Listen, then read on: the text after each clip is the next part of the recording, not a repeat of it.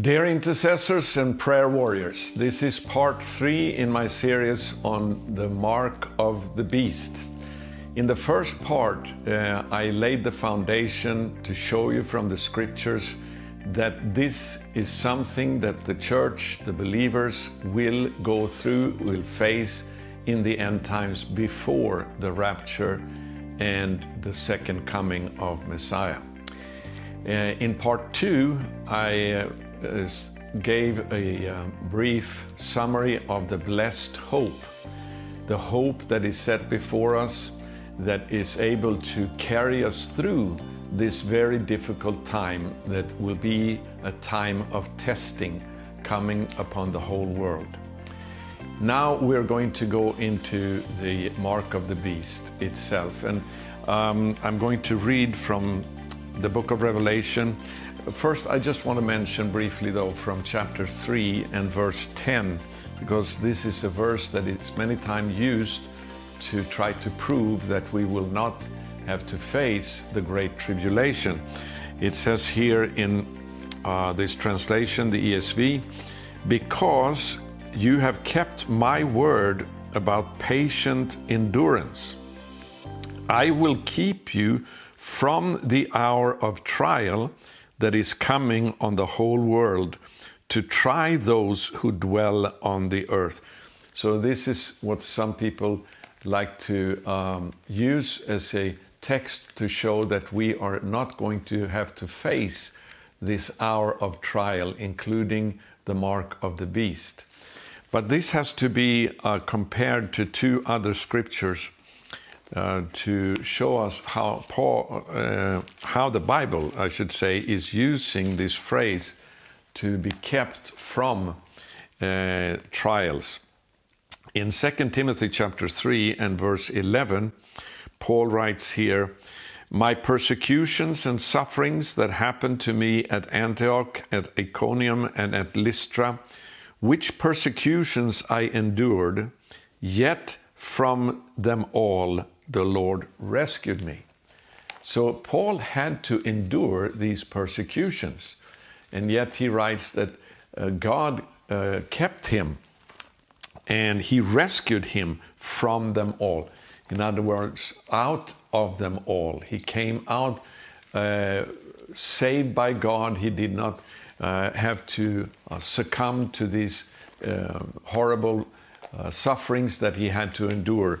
And the same thing is also described very clearly in Psalm 34 and verse 20, or actually verse 19 in the English Bibles where it says, Many are the, the afflictions of the righteous, but the Lord delivers him out of them all. So, this is a prophecy about the Messiah, of course, but it's also about all people who are righteous, that they have to suffer many afflictions. They will not escape afflictions, but the Lord will deliver them out of them all. So this is very important to have, have as a foundation, these scriptures, uh, that we will face these, this time of testing and trial. In fact, Paul and Barnabas also told the new disciples that they had been uh, that they won on their first missionary journey. They encouraged them, telling them, "We must, through many tribulations, enter the kingdom of God." the time of testing will come. And part of that is what we're studying here now about the mark of the beast.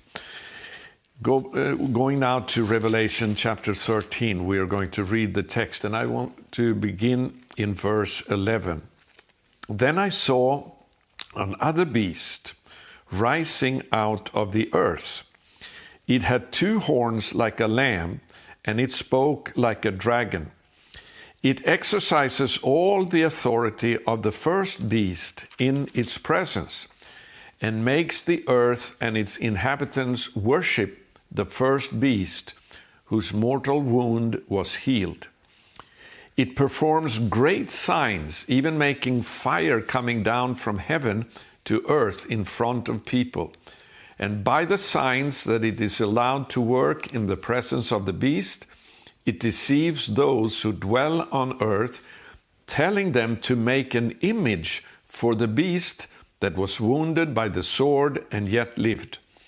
And it was allowed to give breath to the image of the beast, so that the image of the beast might even speak and might cause those who would not worship the image of the beast to be slain.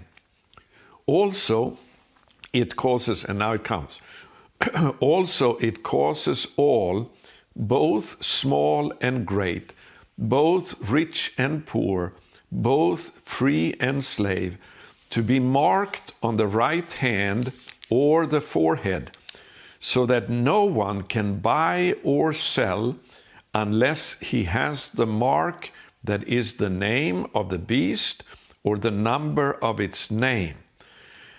This calls for wisdom.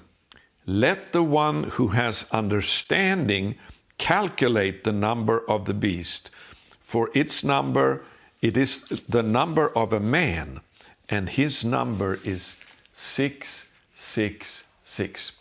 So, this is something that many people, not only those who are believers, in fact, are very familiar with the mark of the beast system 666. Now, we're going to go through, I'm going to go through these verses and to show you uh, what is happening in front of our eyes right now. But I want to begin uh, in the end here, where it says in verse 18 that this calls for wisdom. We need wisdom. it, is calling for wisdom. Uh, we are going to need wisdom in order to discern uh, what is going on with this mark of the beast. And how can we get that wisdom? There is primary uh, primarily only one way, and it is through the Word of God. It's not the wisdom of going to university, of studying science. It's not even the wisdom of theological training, but it is the wisdom of the Scriptures. Uh, I want to go back actually to 2 Timothy chapter 3, where we just read verse 11, and then I will pick up here from verse 13. Evil people and impostors will go on from bad to worse, deceiving and being deceived. Here, once again, we're warned about the great deceptions that are going to be so prevalent in the last days. And uh, then it says here in verse 14, But as for you, Continue in what you have learned and have firmly believed, knowing from whom you learned it. So, this is Paul writing to Timothy, and he is reminding him how he has learned the gospel and the truth from Paul and also from other apostles. This is so important that we stick to what the original teaching of the apostles uh, is, as we can see in the primarily in the New Testament. So we need to stick to what was the original um, version of the gospel, so to speak, that we have in the Word of God, so that we will not leave it or forsake it. Jude says in uh, uh, his epistle in verse 3 Beloved, although I was very eager to write to you about our common salvation, I found it necessary to write appealing to you to contend for the faith that was once for all delivered to the saints. That is the faith that came through the apostles, and it was given once for all. It is not to be changed. We cannot go by just uh, theolo- uh, theology that has developed over the centuries in the church, we must come back to the original gospel that we find in the Bible from the apostles. Okay, now we come to verse 15 in 2 Timothy 3 here. And how from childhood you have been acquainted with the sacred writings, or with the Holy Scriptures, as it can also be translated which are able, listen to this, the Holy Scriptures, and this is referring not to just the New Testament. This is something that Timothy had known from childhood, way before he heard the gospel and he came to faith in Yeshua. He had been uh, had his upbringing in the synagogue because his mother was Jewish, so he had learned what we call today the Old Testament from childhood. And this is what Paul is reminding Timothy what it will do to him. You know from childhood, and how from childhood you have been acquainted with the sacred writings, which are able to make you wise for salvation through faith in Messiah Yeshua. The Bible, the Holy Scriptures, both the teaching of the apostles that we call the New Testament and the writings of the prophets, the Old Testament, they are inspired by God, able to give us wisdom and understanding so that we can be saved through the faith we have in Messiah Yeshua. It's not just enough to believe uh, in Yeshua, we have to also uh, follow very uh, diligently the teachings or the teaching of the Bible. Uh, Peter is reminding us of the same thing in his second uh, epistle. I'm going to read from chapter 3, 2 Peter chapter 3, from verse 1. This is now the second letter that I'm writing to you, beloved. In both of them, I'm stirring up your sincere mind by way of reminder. Now it comes here in verse 2 that you should remember the predictions of the holy prophets. That is what has been written uh, in the Holy Scriptures that we call the Old Testament. They are uh, prophetic, pointing forward to the coming of Messiah and salvation through Him. So, this is what you uh, should be reminded of. It says that you by way of reminder that you shall remember the predictions of the holy prophets and the commandment of the Lord and Savior through your apostles. That is the New Testament. That is the apostolic teaching that has been given to us from uh, the Master, Yeshua the Messiah. So we need both the Old and the New Testaments, the wisdom from the Scriptures, so that we can uh, discern what is going to take place in the end times. Uh, Peter is also writing in the first chapter of Second Peter about the same thing. Uh, we're going to read from verse 19 here. And we have the prophetic word more fully confirmed, to which you will do well to pay attention. And some translations even use the expression to uh, pay close attention to it, as to a lamp shining in a dark place until the day dawns and the morning star rises in your hearts.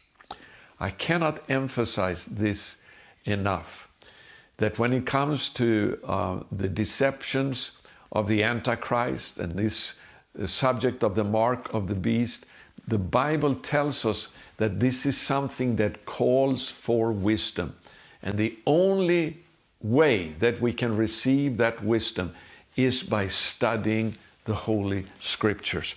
I want to uh, also go to Matthew chapter 24, that we have uh, studied a lot here in this series, and read from verse 15, because the mark of the beast is connected with the uh, image of the beast, of the Antichrist.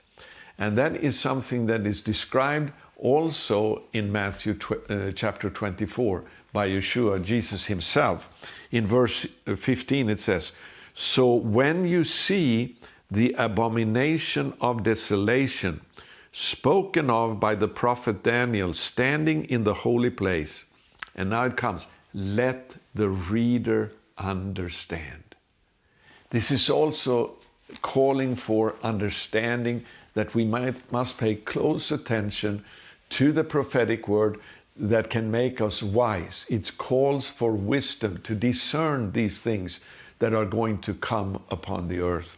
I'm reminded also of Luke 21, uh, where Yeshua is, is speaking about the end times, and he is calling us to really be watchful about the things that are going to take place. It says here in verse 36 But stay awake at all times, praying that you may have strength to escape all these things that are going to take place and to stand before the Son of Man. How can we escape it? By being wise through the prophetic word. We must pay close attention to it, both in the Old Testament and in the New Testament. Uh, that is the only way we can gain the wisdom and the understanding to discern what is happening in the end times so that we might escape these traps, these temptations that are going to come. Uh, and the Holy Spirit has been given to us. Let's be going back here to 2 Peter chapter 1 and read on in verse 20. We just read verse 19 about paying attention to the prophetic word. Uh, verse 20, knowing this first of all, uh, in this subject now, on this subject about paying close attention to the prophetic word, Peter he instructs us here uh, with something that is very important. Knowing this first of all, that no prophecy of Scripture comes from someone's own interpretation. This is explained now in the next verse. For no prophecy was ever produced by the will of man, but men spoke as they were carried along by the Holy Spirit.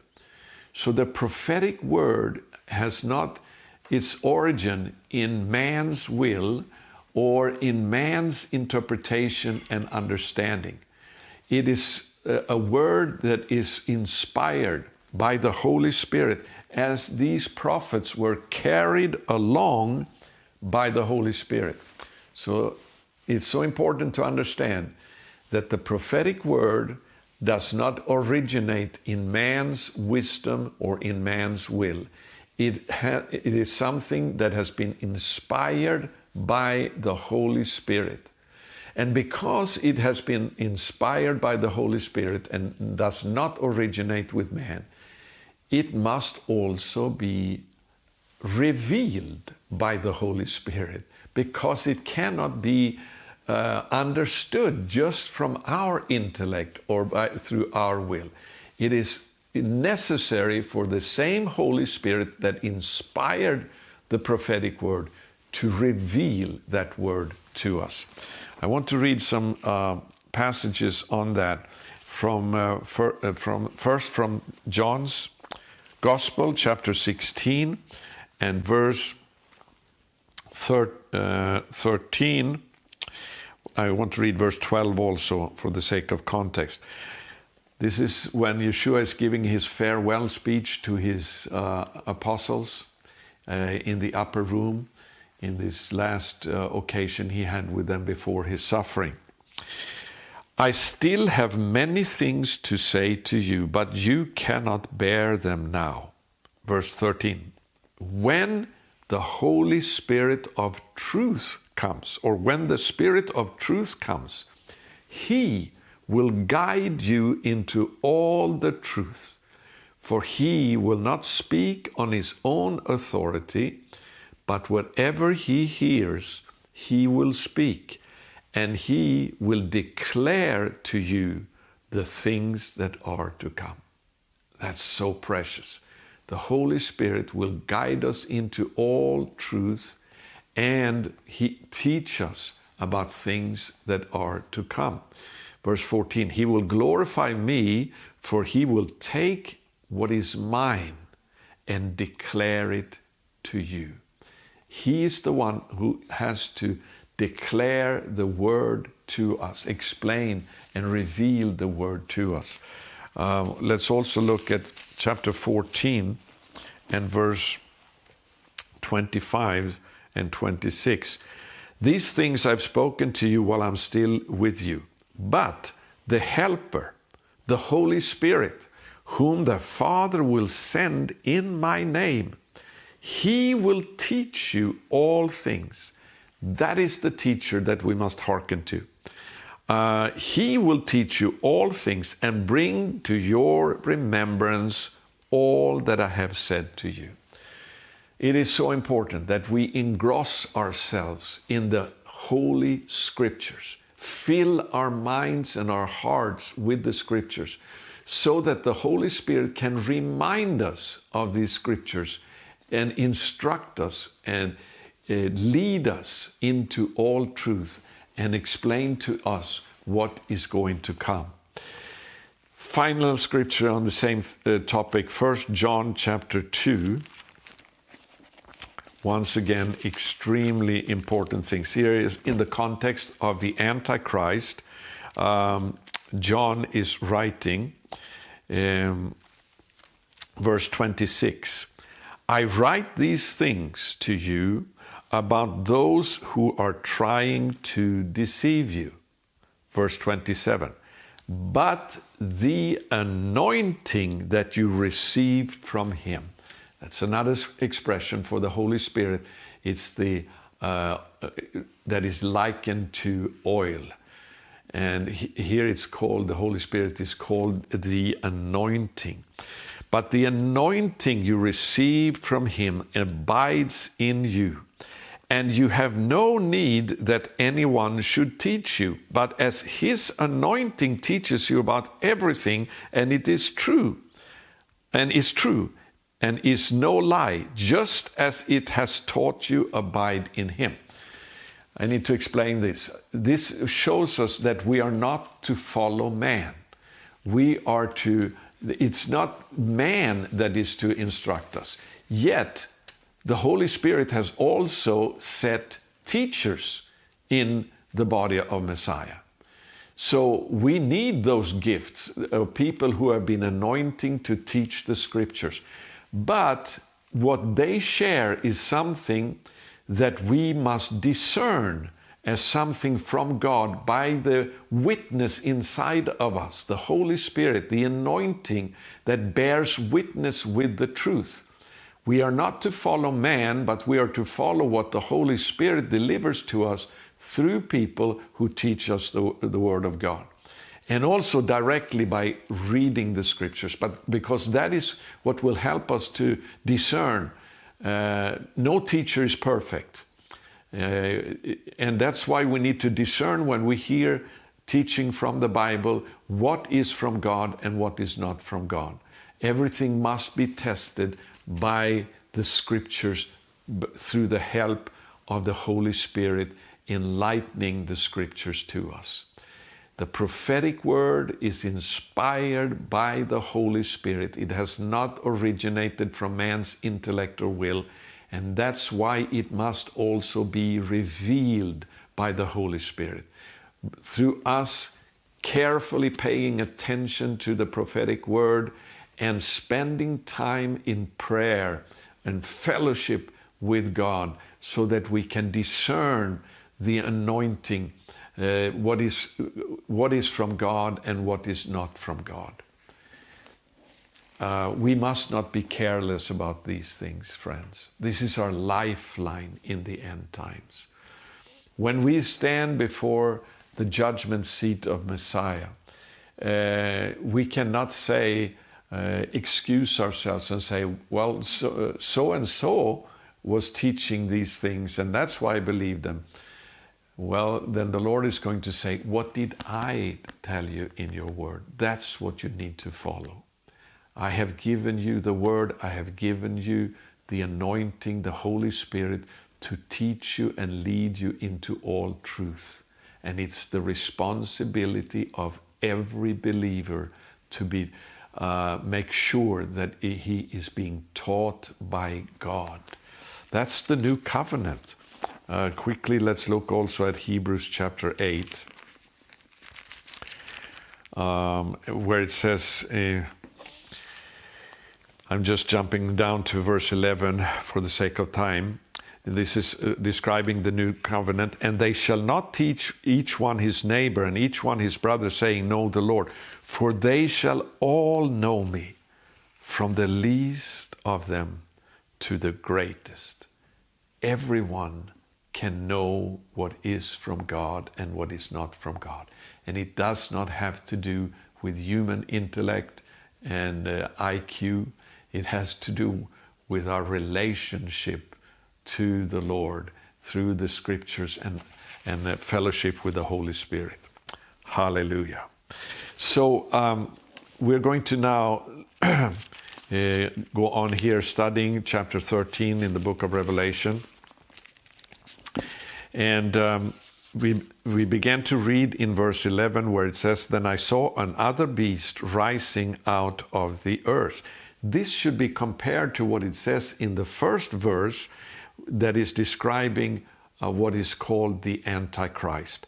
It says, And I saw a beast rising out of the sea with ten horns and seven heads, with ten diadems on his horns and blasphemous names on its head.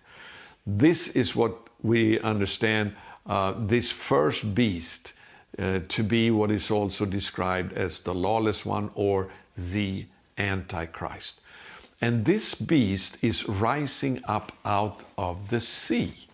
The sea in Scripture is a picture of the nations. Let me just give you one example by, uh, of several that we could point to. Isaiah 60, verse 5, in the second half of the verse, it says about Jerusalem The abundance of the sea shall be turned to you, the wealth of the nations shall come to you. So here is this. Um, it, it, the abundance of the sea and the wealth of the nations are describing the exact same thing. The sea is a picture of the nations uh, in, as opposed to the uh, holy people of God, the, uh, which is Israel. We, we can also look at um, Revelation 17 about the harlot and the beast. And it says in verse 15, and the angel said to me, The waters that you saw, where the prostitute is seated, are peoples and multitudes and nations and languages. This is talking about the nations of the world. That's where the Antichrist will have its origin among the nations. It is rising up out of the sea. But notice when it comes to the second beast, and incidentally, this second beast is described later on in chapter 19 as the false prophet. This second beast, verse 11, it is rising out of the earth. Uh, so it's it, contrasting the earth and the sea. And if the sea is the nations, then the earth. Uh, the Greek word that is used there is the word ge. And that word can also be translated as land. So this is referring to the land of Israel as opposed to the nations of the world this second beast, the false prophet, is going to come up from the land of Israel. Let me give you uh, just one example of how this Greek word ge is used as also land, uh, meaning land. In Matthew chapter 2, uh, the angel, says in verse 19, But when Herod died, behold, an angel of the Lord appeared in a dream to Joseph in Egypt, saying, Rise, take the child and his mother and go to the land, Ge, the land of Israel. So uh, technically, we could translate it as go to the earth of Israel. Well, that doesn't make much sense. Uh, the, uh, Israel is not called earth, it's called land, but it's the same Greek word. So the second beast, in other words, it is something that is going to arise in the land of Israel. Um, and it says that it has two horns. Verse 11 here in chapter 13 of Revelation, it had two horns like a lamb and it spoke like a dragon. And it exercises all the authority of the first beast in its presence. In other words, this second beast, called the false prophet, is going to be like the deputy of the Antichrist here in the land of Israel. Well, uh, before I go on here, I want to refer now to a, a very old prophecy that was uh, originally given at the end of the 1800s to a godly woman in northern Sweden, in an area called Lapland. Uh, that's where the indigenous peoples of Scandinavia uh, live, the, uh, the Same people. And this, um, this prophecy was, became very well known uh, right after the Second World War because it had predicted. Let me say this first, it was given orally from uh, person to person, but then later on it was written down and is today stored in the museum in the capital of that region, which is called Umeå. Uh, it, but it became famous right after the Second World War because it had spoken about a place uh, and a mountain in, uh, in the north where Christ, Messiah, would one day appear in that mountain. Well, lo and behold, in the morning of the 29th of November 1946, uh, miners were going down into um, to do their job in the mine in a small village very close to where the woman had lived called Kristineberg, which in English is almost verbally translated Christ in the mountain. And when they dynamited, as usually in the morning, uh, and the smoke cleared, they saw very clearly a statue of Messiah in the mountain.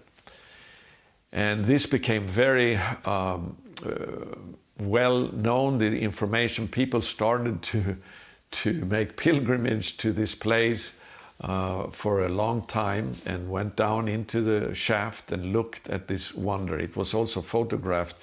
I was born very close to this place, and my father was a pastor, and he kept a picture of that statue of Messiah in the mountain uh, in his office. So I grew up uh, and I still have that picture today uh, that I inherited from him. And uh, it became world, uh, um, it made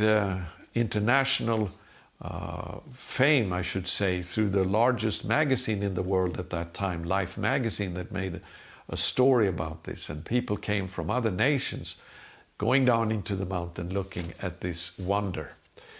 Uh, eventually, because it was exposed to the light, the uh, image began to fade in color, and uh, it was harder to see so clearly that image. And uh, eventually, they could not receive all the people coming to see it, so they closed the shaft, and it is still hidden there today. But I'm just mentioning that because this prophecy it speaks about the end times and something that very interesting is mentioned there.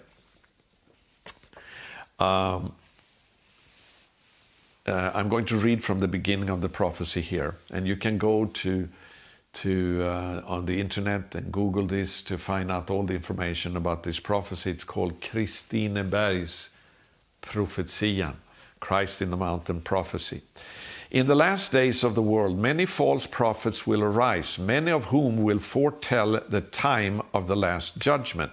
If you hear such words, do not believe what they say, for only God knows about that day. Yes, Scripture is very clear. We cannot know the day or the hour. However, like I pointed out before in this series, we shall know when the Messiah is at the door if we pay close attention to the prophetic word and watch in prayer uh, the developments in the world, we should be able to discern when the time has come for the Messiah to return.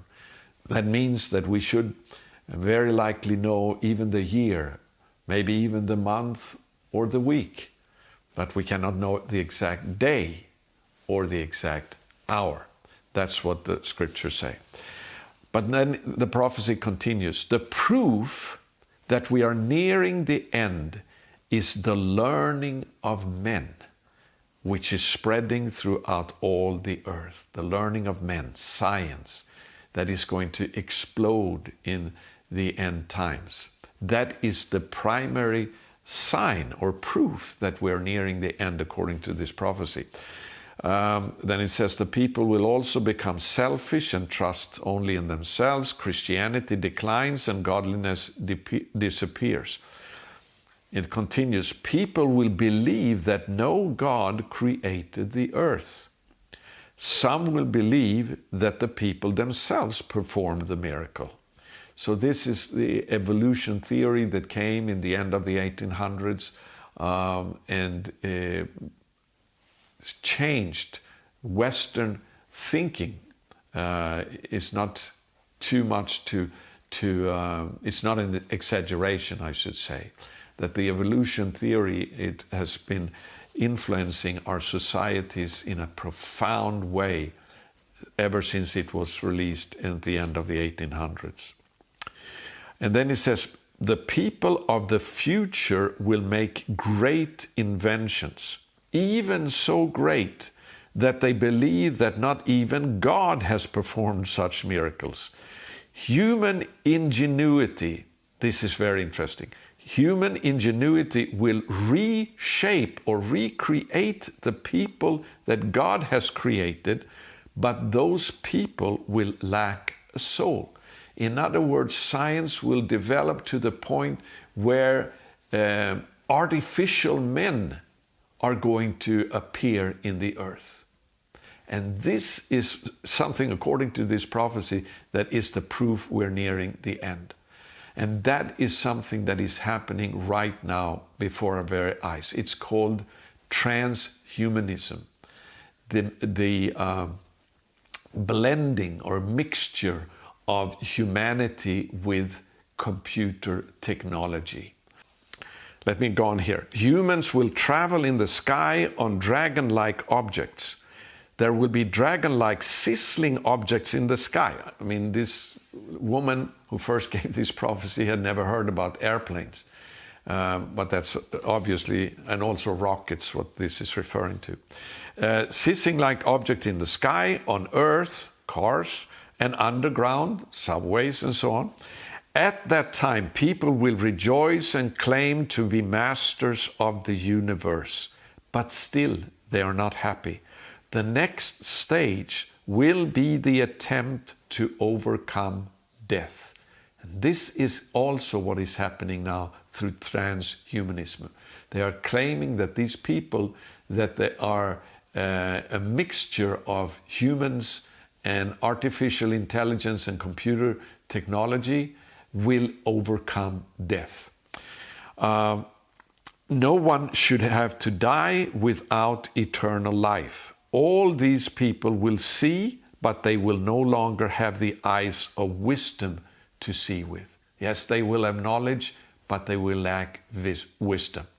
Those who claim that there is no God are fools, the Bible says. They do not want to repent from their sins so the plagues of tribulation will pass over all the lands and peoples of the earth, and in all tongues lamentation will be heard. End of quote. So, this development when man is trying to overcome death and recreate humans, artificial, uh, uh, creating artificial humans, this is what is going to trigger the tribulation of the end times. And uh, I've always had this in the back of my mind, this prophecy, uh, as I grew up. And now I see this is coming to pass. Um, let me uh, go to Second Thessalonians again in chapter 2 and read about the Antichrist, where it says in verse 3 Let no one deceive you in any way, for that day, when uh, Yeshua comes and we are going to be gathered to Him. That day will not come unless the rebellion comes first, or the apostasy comes first, and the man of lawlessness, the Antichrist, is revealed, the son of destruction. And now it says here in verse 4 who opposes and exalts himself against every so called God or object of worship, so that his, he takes his seat in the temple of God, proclaiming himself to be God. This is the essence of the Antichrist and the false prophet that they are going to exalt themselves over everything that is called God and proclaim themselves to be God. Now, this system of um, the mark of the beast that is going to come with the number 666, uh, so that no one can buy or sell if they don't have this mark either on their head, hand, or on their forehead. This is a system that is now science, uh, through science uh, being ready to be implemented. Uh, through the World Economic Forum, whose uh, founder and leader is a man called Klaus Schwab, he stated on French television in uh, January of 2016, he said that in 10 years, meaning in 2026, four years from now. He said, Every human being on the earth will have a mark on their skin or, or a device, uh, I think it was what he said, implemented on the skin or in the brain, through which all of humanity will be connected to uh, a computer, a, a computerized system. This is something ready that should be ready implemented in 2026. And friends, it is developing very quickly now. But the interesting thing so, this is uh, clearly a, a, complete control, a dictatorship that is about to develop, develop over the whole world, uh, over all of humanity. But, uh, but uh, it's coming through the World Economic Forum. And interestingly, as I record this, uh, from what I understand, the World Economic Forum that meets either every year or biannually, uh, I believe, uh, it is meeting right now in Davos in Switzerland, where all the rich, super rich people of the earth, those who have uh, power and are, are famous, uh, are gathered right now to strategize how to take control over the whole world. That's basically what they are talking about. We must have a new global system to, in order to save the planet. Now, what is interesting, this is certainly uh, an agenda that is uh, like the Tower of Babel where they were wanted to buy, uh, build a tower that would reach up into the heavens in order to be independent completely uh, of God, to be in rebellion of God. And that is what is happening right now as well in the earth. What is interesting is that the closest advisor to uh, the leader of the World Economic Forum, Klaus Schwab, is a young man from the land of Israel. And he, his name is Yuval Noah Harari. He is the one who is like the, the uh, uh, ideologue of the, the World Economic Forum and its leader, Klaus Schwab. Just like we read in the book of Revelation that there will also be a second beast in the land of Israel. And this man, he's a young man, he's only 46 years old. He is considered to be a genius, and, and he is professor of his, in history, or uh, is a professor at the uh, history department at the Hebrew University here in Jerusalem. And he has become world famous through his books. The first one the book was uh, originally published in 2011. here in Israel, and it is called in English Sapiens, which is the scientific name of the human race. And it talks about how man has developed into its present uh, form. Of course, so it's all based on evolution uh, fantasy. Uh, it's not real science, it's, it's just fantasy. But uh, and the second book, and this book, Sapiens, it was translated into English, published, became a New York bestseller for, uh, for months and months and months uh, in 2014. And Barack Obama, President Barack Obama, he was the one who made uh, Harari world famous by um, uh, promoting that book, Sapiens. Then the second book that Harari wrote, uh, it, it's called, uh, uh, let me see now, I want to get the exact title. It's called Homos Deus. Homos is man, Deus is God. And it, a brief history of tomorrow, and it explains how man is going to become God. There you have it. It's the essence of the Antichrist exactly. Now let's let's read about this. Uh, by the way, I want to say this also. A genius, uh, so-called uh, Yuval Noah Harari, he's openly homosexual. He is uh, married, so to speak, uh, uh, with another man. And uh, he's also practicing a form of Hinduism through meditation called Vipassana uh, meditation. He meditates two hours every day. He has also stopped using uh, any smartphone uh, because he wants to be so concentrated in this meditation. Every year he takes at least 30 days to be alone in uh, solitude, uh, in complete uh, silence, uh, and that's where he gets his, his inspiration. He said he could never have written this book, Homos Deus, How Man Will Become God, uh, without the inspiration and the strength from his meditation. He considers his meditation to e- even be a form of research. So this shows us that his, his mind, his ideas are um, inspired by demons. And that's the message that he's given forth. Now, Revelation 13 11 says that this false or second beast had two horns like a lamb. Lamb is uh, speaking of innocence, and horn is something that expresses uh, uh, authority, uh, strength, and rulership. What are his two horns? What are his two horns? Well, being a history professor at the Hebrew University in Jerusalem. That certainly is very innocent. He is also a world known uh, author that is also very innocent, just like a lamb.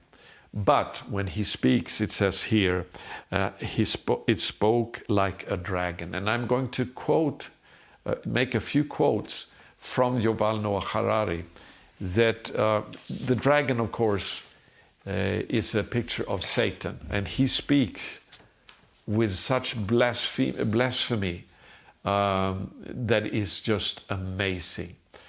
And that's, uh, he then is the number one uh, ideologue of the World Economic Forum and the, the advisor to the leader of the World Economic Forum, Klaus Schwab, who wants to introduce a chip, a mark on the skin or in the brain uh, read forehead, just like it says in Revelation, of every human being by 2026. Here are some of the quotes from Yuval Noah Harari. Um, there are many more, and, uh, but I will just give you these now. I think that fake news has been with us for thousands of years. Just think of the Bible. So here he openly blasphemes the word of God, calling it fake news. He continues, all these stories about Jesus rising from the dead and being the Son of God, this is fake news.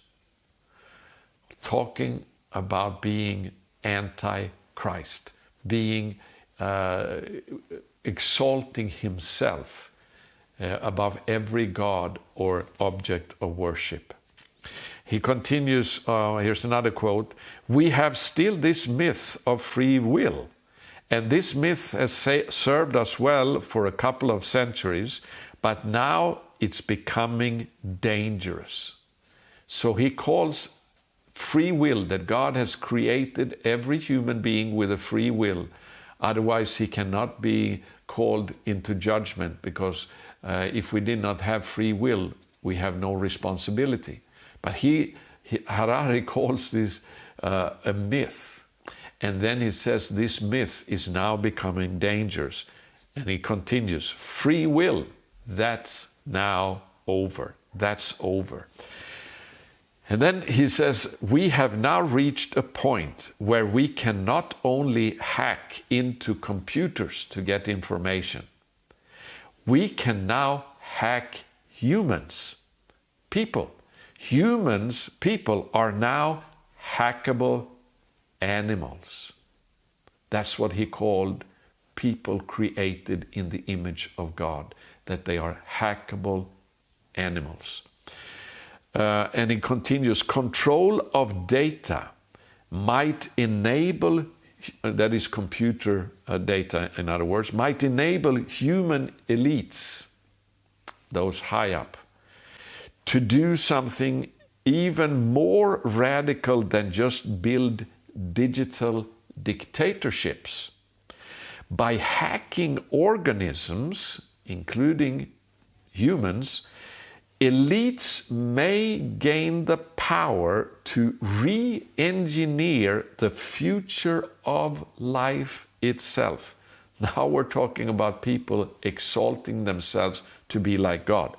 Science is replacing, I quote here, science is replacing evolution by natural selection with evolution by intelligent design but not the intelligent design of some God above the clouds. No, our intelligent design and the intelligent design of our clouds, the IBM cloud, the Microsoft cloud. I mean, and then he continues, we are really acquiring divine powers of creation and destruction. Let me read that again. We are really acquiring divine powers of creation and destruction. And now it comes. We are really upgrading man or humans into gods. Earth will be populated with entities that are not organic. They don't breathe. They, in other words, they can't even die. They don't have emotions. The big political and economic question of the 21st century will be what will we, do we need humans for? This is so awful. Or at least, what do we need so many humans for? Uh, and he says, at present, the best guess we have is keep them happy with drugs and computer games. This is a man who is now advising the elites of the world. And interestingly, people like Barack Obama, Bill Gates, Mark Zuckerberg, uh, and New York Times, and so forth, they call this man, they have given him the nickname the prophet.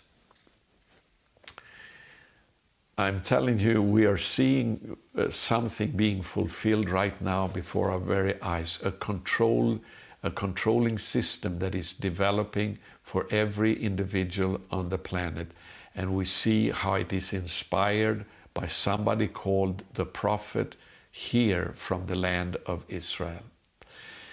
So, friends, um, I cannot um, have time now to go deeper into this. I must follow this up with a fourth part in this series where we're going to study this even more in detail. But we are seeing now something that is developing exactly like it has been prophesied in the Bible for thousands of years. And this, it's interesting, it is this second beast called the prophet, uh, false prophet that is going to introduce the mark of the beast and that is going to set up an image of the Antichrist and command everyone to worship that image. And if they don't worship that image, they are going to be killed. This is, like we've mentioned before, it's exactly what is talked about uh, by Yeshua Jesus in Matthew 24. Uh, in uh, verse 15, and I'm not the only one saying this, there many Bible scholars see the parallel here with the image of the beast in Revelation 13 and what is mentioned here in Matthew 24 15. So when you see the abomination of desolation, an abomination is also an image many times uh, in, in the Bible. And it's an image of desolation, an image that can cause people to die. When you see the abomination of desolation spoken of by the prophet Daniel standing in the holy place, what place is that? The Temple Mount, just like Daniel prophesied. And that's what Paul says in Second uh, Thessalonians 2 that we just read that the Antichrist will take his seat in the temple of God. And the Temple Mount is called the Temple of, Mount, uh, of God, whether there is a temple there or not. That's in that holy place that the image of the beast, the abomination that causes desolation, is going to be set up by somebody arising from the land of Israel. Wow. And uh, then it says here in verse uh, 15, the end of the verse here, let the reader understand. This is a, just parallel to Revelation 13. This calls for wisdom. Let the reader understand. How can we understand it? By reading the scriptures and by allowing the Holy Spirit to reveal the scriptures, the prophetic word to us. And I believe that is something that we are going to, that we are witnessing right now. When uh, man is being uh, produced artificially, uh, lacking soul, uh, just like that ancient prophecy from northern Sweden talked about, it is being right now uh, fulfilled through what is called transhumanism. That is what this man, Yuval Noah Harari, is promoting over and over and over. Transhumans that are going to take over this planet. And we are going to give more quotes by him in the next part of this series, in part four, because we have to study this and be watchful for what is taking place, or what is taking place, I should say, now in the earth, and see how the prophetic word is being fulfilled. Because many times it is very hard to understand the prophetic word until it is being fulfilled. Then we realize, ah, this is what was spoken by the prophets. Now we know what this is all about. Uh, so that is what the word, uh, the prophetic word, is given to us for uh, also. Let me just give you my uh, understanding here of the mark of the beast, and then I'm going to end for this time. It says uh, here in Revelation 13, the last verse, verse 18, this calls for wisdom. Um, let the one who has understanding calculate the number of the beast, for it is the number of a man, and his number is 666. We know through scripture that um, the number six is the number of man.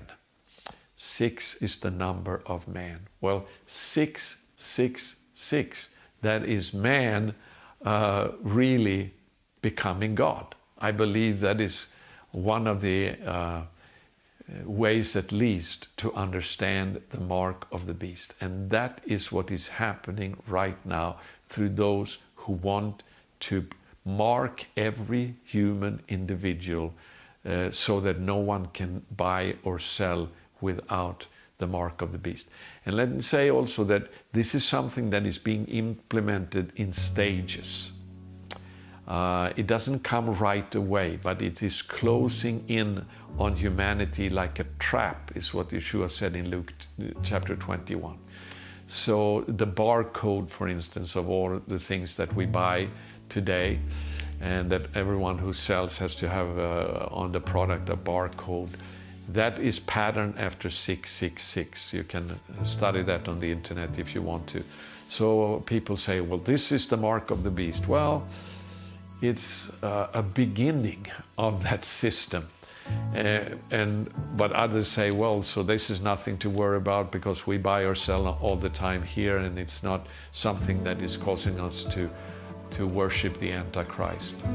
But uh, we need to watch out. Sooner or later, this system is going to become uh, a control system that is also going to demand our worship and our allegiance. We must pray and watch always that we can escape these things that are coming so that we can stand before the Son of Man.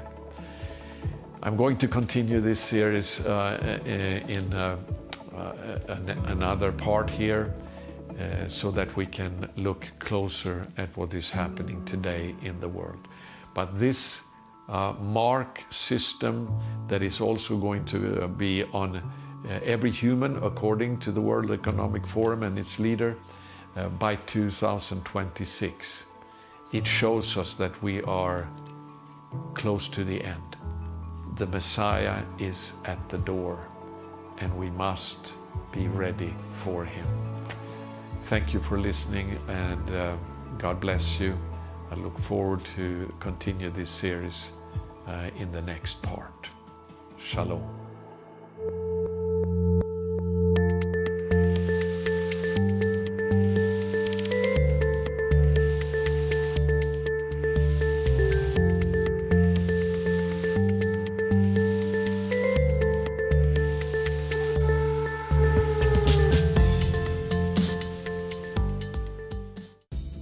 TV7 tuo evankeliumin rohkaisevaa sanomaa jokaiseen kotiin. Haluamme tarjota sinulle ravitsevaa ohjelmaa vuorokauden ympäri sinua kiinnostavista aiheista.